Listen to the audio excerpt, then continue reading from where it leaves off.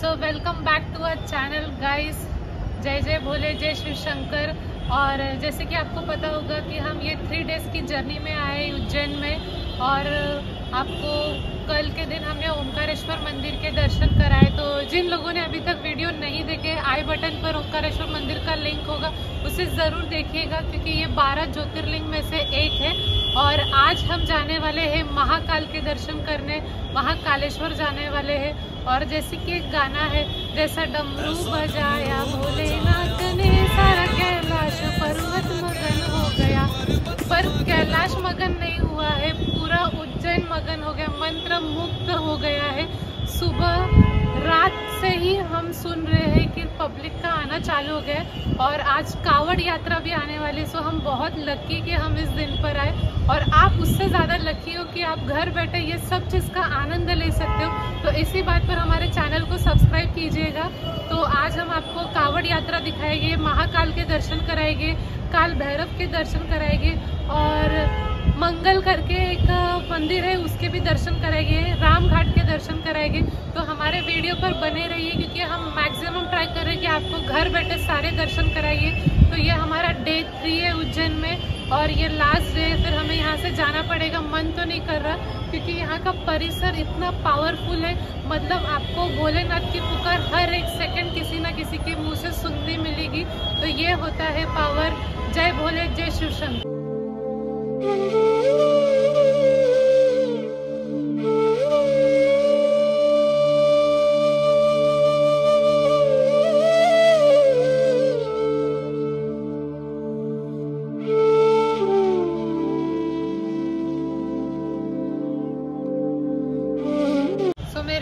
दोस्तों, आपको हम बेटर व्यू देने के लिए हमारे होटल के टेरेस पर आए, क्योंकि यहाँ से लगभग सब कुछ दिख रहा हमें। मंदिर ये साइड है और एंट्रेंस ये साइड से है तो वो व्यू देने के लिए हम यहाँ पर आए, ताकि आपको भी देख सके कि कितनी ज़्यादा भीड़ है।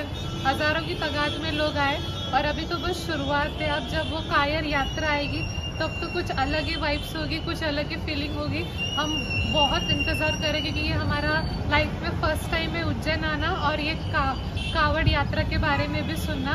तो we are so much excited तो इसी एक्साइटेड के साथ वीडियो पर बने रहिए। सो लेट्स गो अभी हम दर्शन करने चले। उज्जैन नगरी में हमारी मुलाकात ऐसे व्यक्ति से हुई जिन्होंने साक्षात महादेव से भेंट किया अपनी केदारनाथ यात्रा पे। तो चलिए जानते हैं वो राज क्या था। बस त्यांनी पाठवली. टेन्शन घेऊ नको म्हटलं तू. गाडी आहे ना इथं डोळ्यात दिसते ना आपल्या. कोणी विश्वास ठेवा की नाही ठेवा. आपण ठेवायचं म्हटलं तर बस म्हटलं गाडी.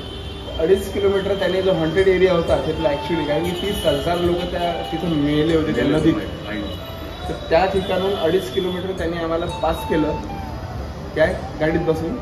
बेटा बोले ये लाइट दिख रहा है बोले बेटा. बस यहाँ से एक डेढ़ किलोमीटर आपके लिए सेफ है बोले आप यहाँ से निकल जाओ बोले काय? तेवढ्या वेळात त्यांनी फक्त एवढंच विचारलं. बेटा यहाँ से वापस नहीं गए तो बोले मला बाबा के.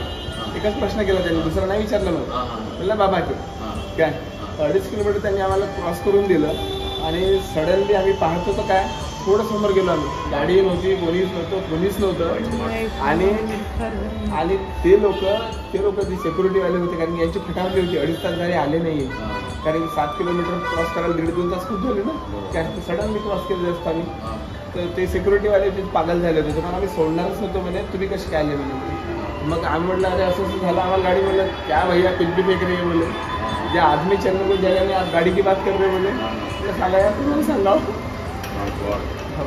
अशा पद्धतीनं ते दर्शन झालं. असेच एक रूम होती बाजूला एक हॉल होता त्याच्याकडे थांबायला जास्त जागा नाही. काय तर आम आम्ही आतमध्ये गेलो आम्ही आतमध्ये गेलो झोपून गेलो. साडेतीनला तिथं भूकंप आला. Same day same day Vita मातीचं हॉटेल असं अक्षरशः हल्लं. काय? ते आम्ही इथं करीब आठ दिवस त्या भागामध्ये शंभर किलोमीटर लाईन होती. त्याने होत्या आम्हाला. तेव्हा. मेणबत्त्या हा, हा. आपली मेणबत्ती. हा. मेणबत्ती तर विजली होती आमची. हा. काय? हा. तर मग हे म्हणे अरे कसं? म्हणजे बेड हल्लो होतं पूर्ण माझं. अक्षरशः. मी कसं पकडलं हिलाही पकडलं. तर थांब मला पाहू दे काय नेमकं खाली बाहेर जाऊन पाहत होतो काहीच खरं नाही. किंवा अंधार घडत. तर आमच्या बाजूला ऐंशी शंभर लोक बाजूला झोपले होते माझ्या हॉलमध्ये. हा. बाजूच्या रूममध्ये काय? मी त्यांना आवाज द्यायला गेलो. अरे भैया आपली है क्या? कोणी उठायला तयार नाही. मी आता हे कसे लोक झोपून असतील इथं हा हॉल पूर्ण भिंतीला हात लावून फिरलो. कंप्लीट असं चालत चालत चालत असं पूर्ण फिरलो. कोणी उठायला तयार नाही. म्हणजे लोक झोपले तर कुठे झोपले? ते ऐंशी शंभर लोक जे माझ्यासमोर गेले त्या हॉलमध्ये झोपायला. ते झोपले तर कुठे झोपले? खाली त्या कॅन्टीनवाल्याला आवाज दिला भैया कोई है क्या? कोणीच उठायला तयार नाही. तो समोरचा एक दुकानदार छोटासा टपरीवाला तो माझ्यासमोर झोपला होता अक्षरशः. त्याला आवाज दिला. म्हटलं भैया कोई है क्या? तो उठायला तयार नाही. म्हणजे नाही स्मशान शांतता म्हणजे तिथे कोणी आहे की नाही जे होते ते कोण होते कोणाला प्रश्नाचं उत्तर नाही.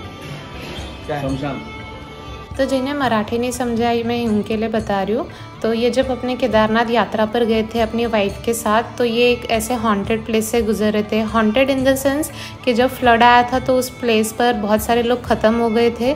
तो बहुत लेट नाइट हो चुका था तो अचानक से इनको एक कार मिली जिसने लिफ्ट दिया, इनको बेटा करके इनको बुलाया और ये भी उस कार में बैठ गए और इनको ढाई किलोमीटर तक ड्राइव करके एक सेफ़ प्लेस पर पहुँचा दिया और जैसे ही हस्बैंड वाइफ उस कार से उतरते और पीछे घूमते तो देखते ना वहाँ कार है, ना कुछ और और बाद में इनको पता चलता है वहाँ के गार्ड और वहाँ के लोगों से कि ये रास्ता तो इतना पतला है कि यहाँ पर कार बाइसिकल कुछ ड्राइव ही नहीं हो सकती। तो फिर वो कौन थे जिन्होंने इनका सहारा बना? तो वो साक्षात महादेव थे।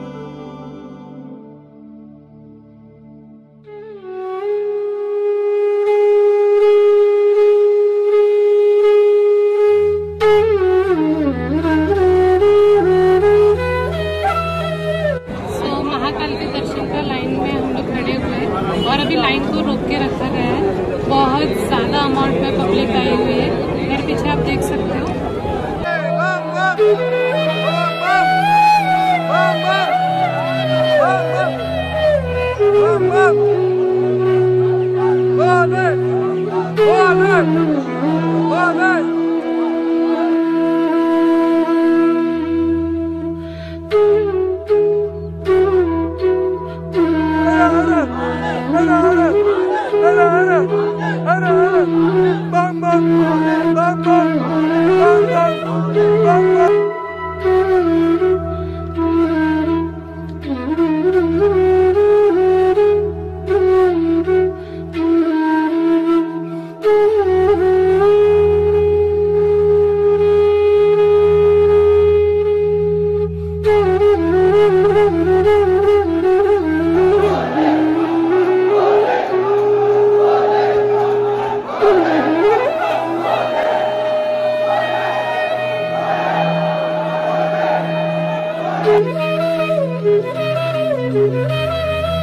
करता करे न कर सके, शिव करे सो होए।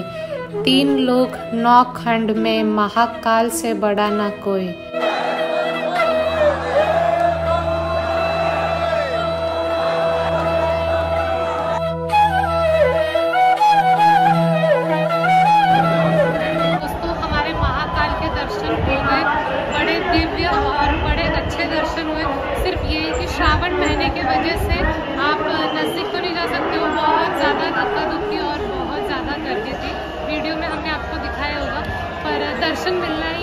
ये सौभाग्य है, ऐसा मैं मानती हूँ। चाहे दूर से मिले, चाहे नज़दीक से, बाबा तो सबके हैं, हमारे सबके महादेव बाबा।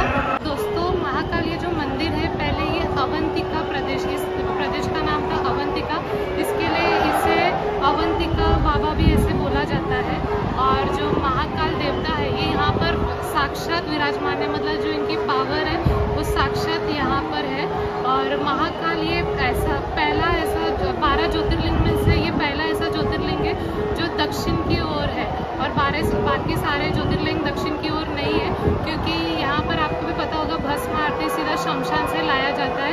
तो ये मृत्यु के देवता मतलब उनके आगे, हमारे महाकाल बाबा के आगे कोई नहीं और जो हमने ओंकारेश्वर मंदिर के दर्शन किए थे, वो पाँच मुखी उनका जो शिवलिंग था, वो पाँच मुखी था।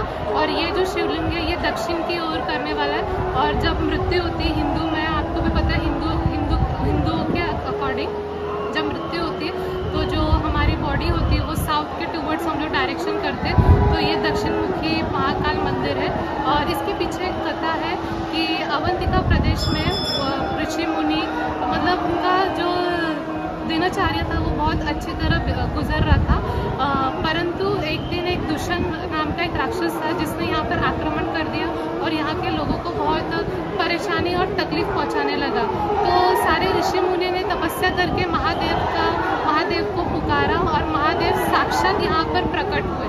और जब वो प्रकट हुए तो उनके हुंकार से ही दुष्यंत राक्षस का विनाश हो गया, सर्वनाश हो गया। तब से महाकाल का वास यहाँ पर है। घनघोर अंधेरा ओढ़कर मैं जन जीवन से दूर हूँ। शमशान में मैं हूँ नाश्ता, मैं ही मृत्यु का गुरूर हूँ।